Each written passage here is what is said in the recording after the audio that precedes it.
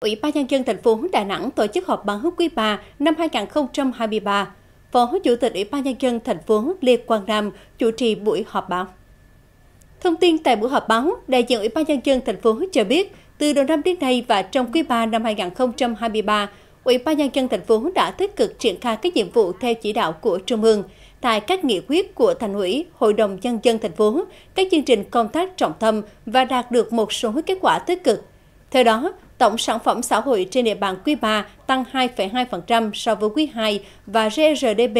9 tháng đầu năm 2023 cũng tăng so với cùng kỳ năm ngoái. Định hướng thời gian tới, Ủy ban nhân dân thành phố sẽ tiếp tục bám sát các chỉ đạo của Trung ương, các nghị quyết của Thành ủy và Hội đồng nhân dân thành phố để thực hiện quyết liệt các nhiệm vụ phát triển kinh tế xã hội, triển khai hiệu quả chủ đề năm 2023 là năm tập trung khơi thông các nguồn lực, thu hút đầu tư, giữ vững tăng trưởng kinh tế và đảm bảo an sinh xã hội. Các phóng viên đã đặt nhiều câu hỏi cho Ủy ban nhân dân thành phố, nổi bật là các vấn đề liên quan đến phát triển kinh tế đêm trên địa bàn, như tình trạng các tiểu thương thường xuyên bị các đối tượng xấu lừa đảo bằng các mã QR giả mạo, việc phát huy vai trò của các chợ trong chuỗi liên kết phát triển kinh tế đêm.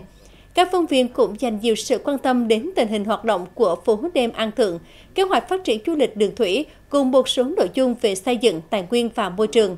Tại buổi họp báo, bên cạnh việc trao đổi giải đáp các câu hỏi của phóng viên, đại diện các sở ngành quận huyện cũng thông tin thêm về các vấn đề liên quan đến kinh tế, đầu tư, văn hóa xã hội, phát triển đô thị. Trong đó đáng chú ý là việc chấm dứt hoạt động của các dự án bị bỏ hoang lâu năm giữa trung tâm thành phố, tình hình dự án khu công viên phần mềm số 2, kế hoạch phát triển du lịch trên địa bàn, việc xử lý các cơ sở thẩm mỹ vi phạm, tình hình lao động việc làm,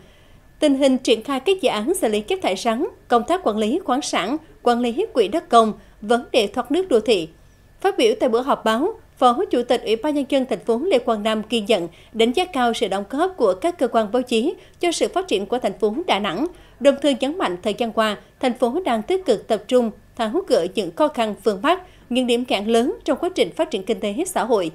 Phó Chủ tịch Ủy ban nhân dân thành phố cũng thông tin cụ thể hơn về một số vấn đề nhận được nhiều sự quan tâm của phóng viên như công tác xử lý rác thải, quản lý khoáng sản, quản lý đất đai, chống ngập đô thị,